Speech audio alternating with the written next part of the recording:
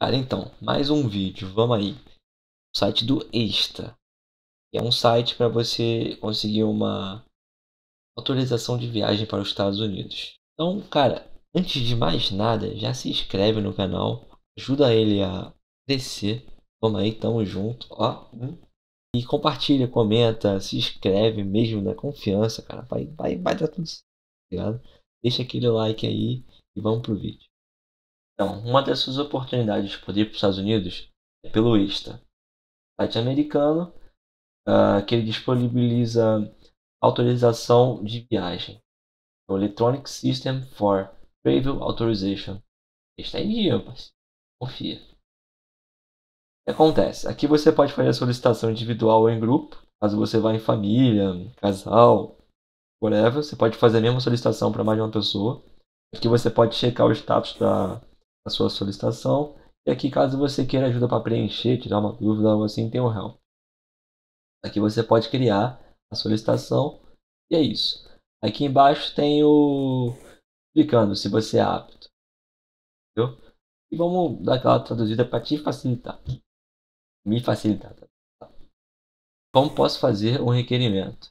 Lembrando que são sete passos aqui para você fazer o requerimento responder à isenção de responsabilidade, digitar informação do requerente, digitar informação pessoal, digitar informação de viagem, responder perguntas de elegibilidade, revisão da solicitação e o pagamento. Se eu não me engano, o pagamento que me disseram era em torno de 14 dólares. Vou dar uma verificada aqui embaixo. É isso mesmo, ó. 14 dólares. Fazer a solicitação aqui do requerimento. Bem, ó, quem deve fazer o requerimento? Você é um cidadão qualificado de um país participante do Visa Waiver Program. Aí que você clica em cima aparece aqui alguns países, em sua maioria europeus. Mas aqui também tem a Chile, a América do Sul. Uh, e é isso, cara. Aí temos aqui Nova Zelândia, que é um pouquinho mais para lá para direitona, né? Coreia do Sul também está apta aí, ó. No meu caso aqui, ó, é Portugal. Como eu sou cidadão português, posso estar fazendo a solicitação uh, de viagem para os Estados Unidos. Caso vocês tenham descendência, consiga tirar a cidadania lá, da Polônia, da Itália, uh, da França, Alemanha, Espanha, Reino Unido, sei lá, Inglaterra ou País de Gales, por exemplo, pode estar solicitando também a participação aqui nesse programa para poder ir para os Estados Unidos. Lembrando que tem que ter o passaporte em mãos, tá? Não é só ter a cidadania, você tem que ter o passaporte em mãos. No meu caso é o passaporte português. Então vamos aí. Uh, a sua viagem tem que ter no máximo 90 dias, ali ou menos. Uh, você planeja viajar aos Estados Unidos, já negócio ao passeio deseja solicitar uma nova autorização individual ou para um grupo de duas ou mais pessoas, que são então o, requerimento. Então, agora, o que, que é preciso para você fazer o requerimento? O passaporte válido, isso está para vocês, um dos países do que constituem esse Visa Waiver Program, é o VWP. Uh, ah, o endereço de e-mail válido do viajante, esse é o endereço de e-mail, cara, cujo qual você tem acesso, claro endereço residencial e número de telefone do viajante, uh, e-mail e telefone do ponto de contato de emergência do viajante, uh, método de pagamento. Aqui no caso vai ser aquela taxinha que eu acabei de dizer de 14 dólares, depois que você preencheu o formulário deles aqui. Bom, eles também podem requisitar alguma dessas outras coisas aqui, ó.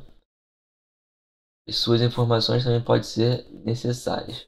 Se criar um pseudônimo, viagem, uh, o número de ID nacional.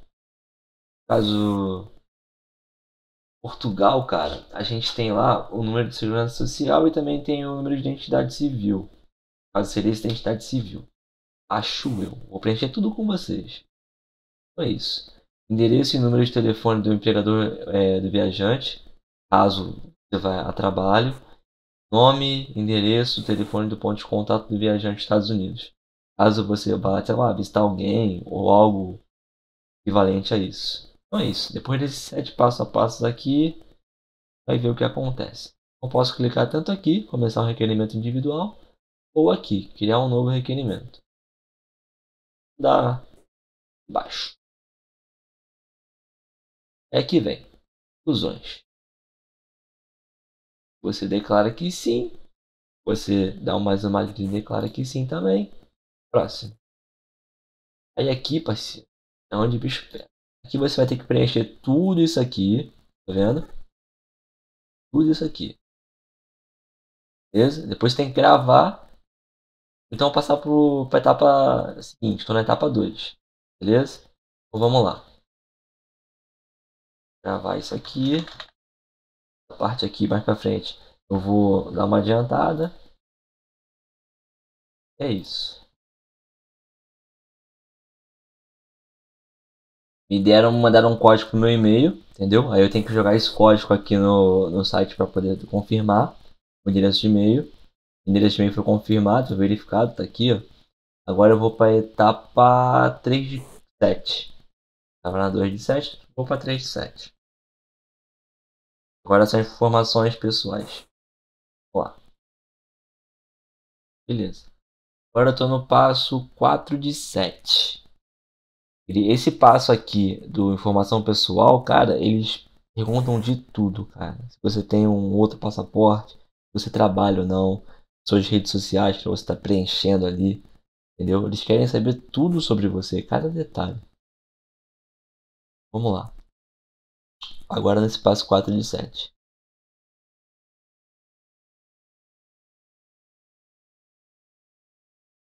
Não.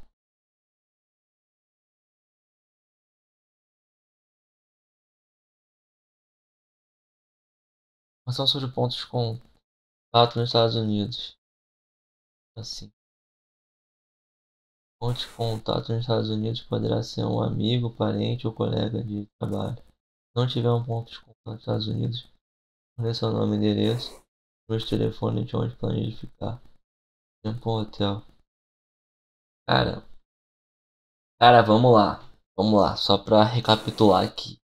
Esse passo 4, 7, também é meio chatinho, porque você vai ter que ter um endereço para ficar lá, Estados Unidos, sendo ele hotel, sendo ele uma residência de um amigo, um parente, um ah, conhecido seu lá, tá ligado? Um rosto, algo assim, entendeu? Ou algum endereço que o seu trabalho, caso você vá a trabalho, vai te fornecer, entendeu? Tem que ser tudo certinho, você não pode errar nada, entendeu? porque o site te acusa. Caso você erre uma vírgula, caso você erre um, sei lá, uma letrinha qualquer, ele já acusa. Entendeu? Você também precisa colocar o endereço de contato para caso de, sei lá, alguma coisa com você, tá ligado? Um contato de emergência, por exemplo, entendeu? Por exemplo, não, é um contato de emergência. Pode colocar alguém que resida no país que você está indo, no caso dos Estados Unidos, ou alguém que não é de lá, entendeu? É só uma emergência. Caso aconteça algo de ruim com você, essa pessoa seja contactada. É sobre qualificação. Agora a parte de 5 de 7. Beleza? Tem que falar tudo isso aqui agora. Vamos lá. Pera, pera, pera, pera, pera. Segura aí. Já se inscreveu para ajudar o canal a crescer, cara? Já deu aquele like? Vai comentar? Ué, então. Ajuda aí, vamos aí, vamos aí, vamos aí. Comenta aí, pô. Escreve aí, vamos multiplicar, pô ajudar a somar. Toma aí. Conhecimento não quer demais. Vamos fazendo bagulho junto. Show? Mãe. Valeu. Pergunta sobre qualificação. Você é portador de alguma deficiência física ou mental? Tem dependente de droga? Blá, blá, blá. Não. Tá mantendo uma porra dessa. Já fui. Você já foi preso ou condenado por um crime que tenha resultado em prejuízo ou danos a propriedades ou danos graves a alguma pessoa ou autoridade do governo? Não, brother. Alguma vez você transgrediu qualquer lei referente ao uso, posse ou disposição legal de drogas? Não. Você deseja se engajar já se engajou em alguma atividade terrorista, espionagem, sabotagem ou genocida? Também não. Alguma vez você cometeu fraude ou mentiu sobre si mesmo ou outros visando obter ou ajudar outros a obterem visto de entrada nos Estados Unidos? Cara, é que eu tô indo, parceiro. Não é meu sonho, mas é a primeira vez que eu tô indo aí pra passear. Entendeu? Basicamente é isso. Você está atuando atualmente. Você está atualmente desejando trabalhar nos Estados Unidos? Já trabalhou anteriormente nos Estados Unidos? Tem a permissão legal de trabalho do governo dos Estados Unidos? Eu ainda passei, meu amigo. A passeio. Você já teve um pedido de visto para os Estados Unidos negado com o seu passaporte atual anterior?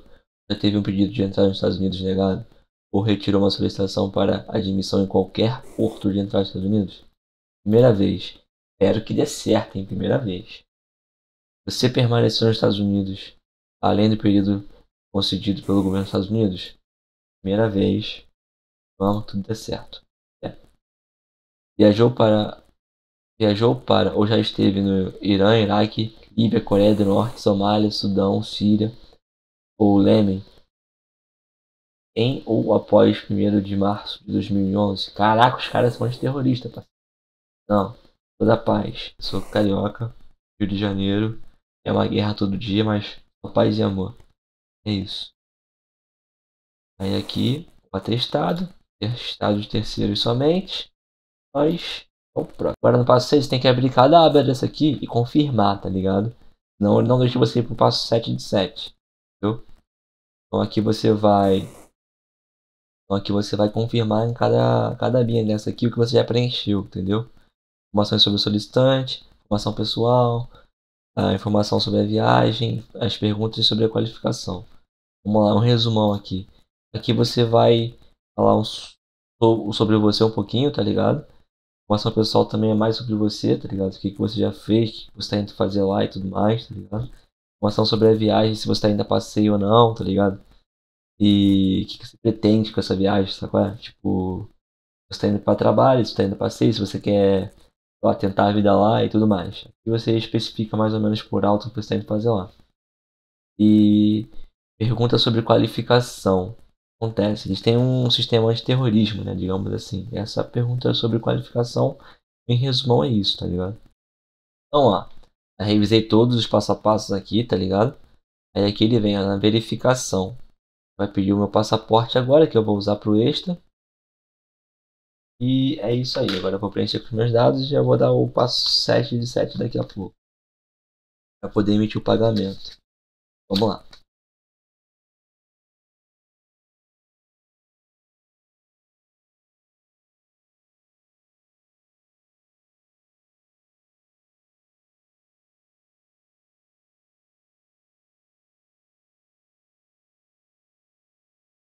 Agora, é... pagamento perfeito, tá aqui, ó. pagamento foi enviado. Uh, nome, data de nascimento, número da solicitação, uh, número do meu passaporte, aí tá aqui o status. Realização de viagem pendente. Agora tem que esperar a boa vontade dos senhores lá para poder aprovar minha solicitação de viagem. E aqui tá o vencimento dela. Entendeu? O período que eu posso estar tá em viajar para os Estados Unidos, digamos assim. A autorização de viagem ela tem uma validade. Mas agora é só eu ir verificando, tá vendo? Verificar o andamento das, da sua solicitação individual. Esse número aqui, ali. Entendeu? É isso. Olha, espero que tenha gostado. Uh, deixa aquele like, compartilha, comenta e mais importante, cara, se inscreve, tá bom? É isso. Qualquer dúvida eu tô aí para responder. Bom, Uh, o status foi atualizado, cara, foi papo de 12 horas, entendeu? Não deu nem 24 horas, eles atualizaram meu status, foi aprovado. Eles me deram uma validade uh, para minha permissão de viagem para os Estados Unidos. Vou mostrar aí para vocês. E é isso, cara. Qualquer coisa que queira me contactar, tá pelo meu Instagram ou meu e-mail, que fica sempre na descrição de todos os vídeos. E é isso, cara. Ó, se inscreve, curte, comenta. Qualquer coisa, tamo por aí. E até o próximo vídeo. Valeu!